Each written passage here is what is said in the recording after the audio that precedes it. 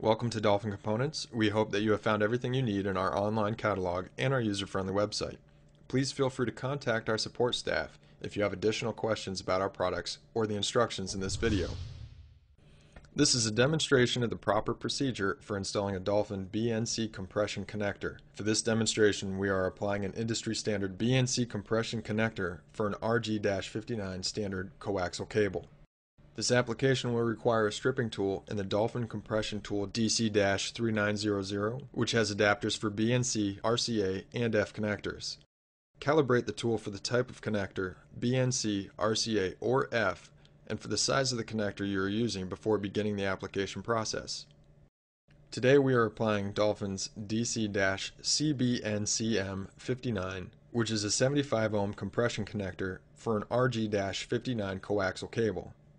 Beginning at the raw end of the cable, using a cable stripper, strip the outer insulation back half an inch to expose the braid.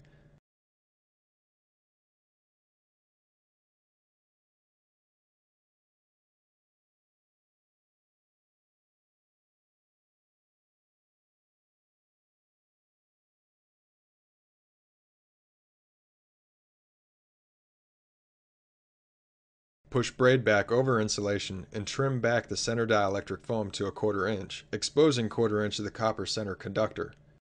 Remember, do not allow the braid to come into contact with the center conductor or it will cause a short in the system.